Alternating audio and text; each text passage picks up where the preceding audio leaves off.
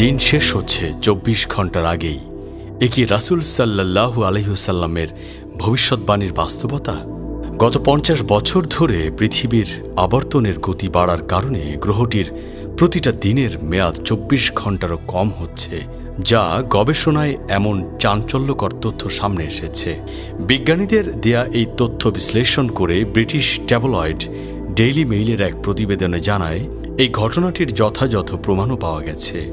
বিজ্ঞানীরা জানান, পৃথিবীর আবর্তন দ্রুতগতির কারণেই স্বাভাবিক চব্বিশ ঘণ্টার চেয়ে কম হচ্ছে বর্তমানে একটি দিনের দৈর্ঘ্য।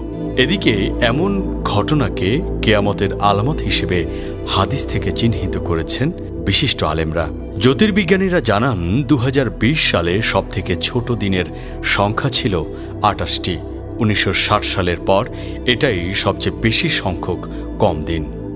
বিজ্ঞানীরা আরও চাঞ্চল্যকর তথ্য দিয়ে বলেছেন দু হাজার একুশ সালে আরও ছোট দিন হতে পারে।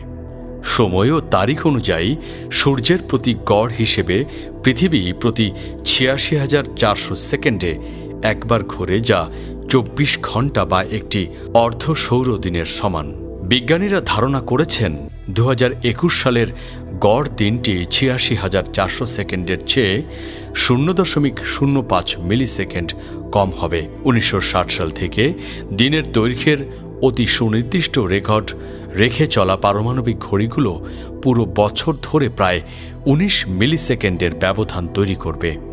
লাইফ সায়েন্সের একটি প্রতিবেদনে জানা যায়, রেকর্ডে সবচেয়ে দ্রুততম আটাশটা দিন দেখা যায় দু হাজার বিশ সালে। কারণ, ওই দিনগুলোতে পৃথিবী নিজের অক্ষের চারপাশে ঘূর্ণনগুলো গড়ের থেকে প্রায় মিলি সেকেন্ড সময় দ্রুত সম্পন্ন করে। পারমাণবিক ঘড়ির হিসেব অনুযায়ী গত পঞ্চাশ বছর ধরে পৃথিবী একটি ঘূর্ণন সম্পন্ন করতে চব্বিশ ঘণ্টা বা ছিয়াশি হাজার চারশো সেকেন্ডের চেয়ে কিছুটা কম সময় নিয়েছে। ডেইলি মেইল তার প্রতিবেদনে জানায়, উনিশশো বিশ সালের ২০ জুলাই পৃথিবীতে সবচেয়ে সংক্ষিপ্ত দিনটি রেকর্ড করা হয়েছিল।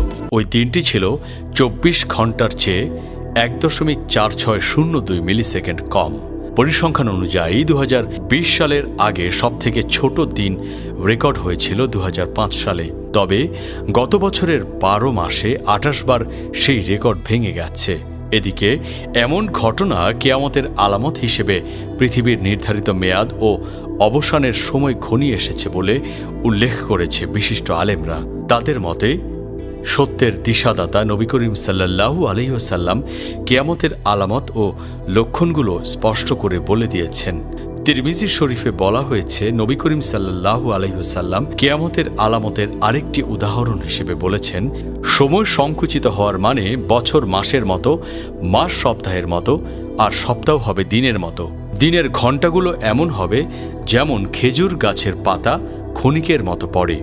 রাসুল সাল্লাহু আলহিহসাল্লাম যে ভবিষ্যৎবাণী করেছেন, আমরা তার মধ্য দিয়েই পার হচ্ছি বলে মন্তব্য করেছেন বিশিষ্ট আলেমরা।